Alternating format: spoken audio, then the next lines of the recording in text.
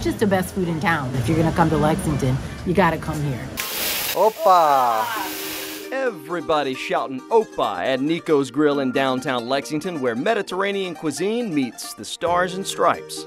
Greek as well as uh, like a New York American diner, I guess I would say a little bit uh, influence and vibe. Stelio Tripodianos now owns and operates the restaurant his dad Niko opened 13 years ago. Although retired, Niko is never too far away. My parents and myself and my sister, so uh, my father put it there when he just first opened. Born in Greece, raised in Lexington, Stelio grew up in the kitchen watching and learning from his dad. You know, grew up in that kind of environment. So naturally, yeah, it's been kind of easier for me to, to work in this business. Uh, I've been cooking for, you know, since I was small. Why should I cook when Stelio can cook for me? I mean, what would be the point? But no, it's, the food is really, really good. Niko's offers all the staples you'd expect walking into a restaurant in Greece. So we have a very popular uh, beef kebab.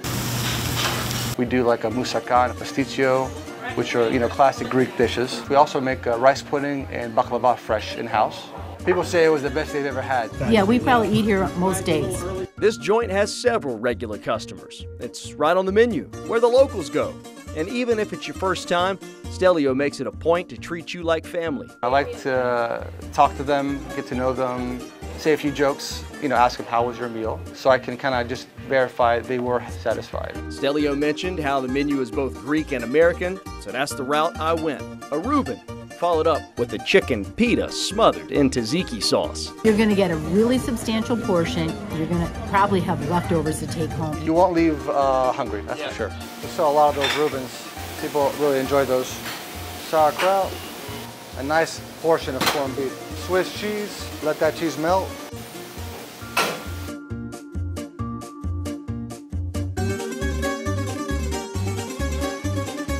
See, you're not getting skimped on corned beef or sauerkraut and the olive oil base on that bread.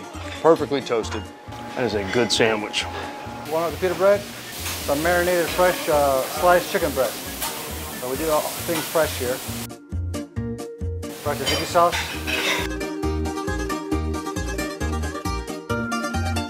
The pita bread is just, it's so warm, toasty. The sauce busting right out of the seams.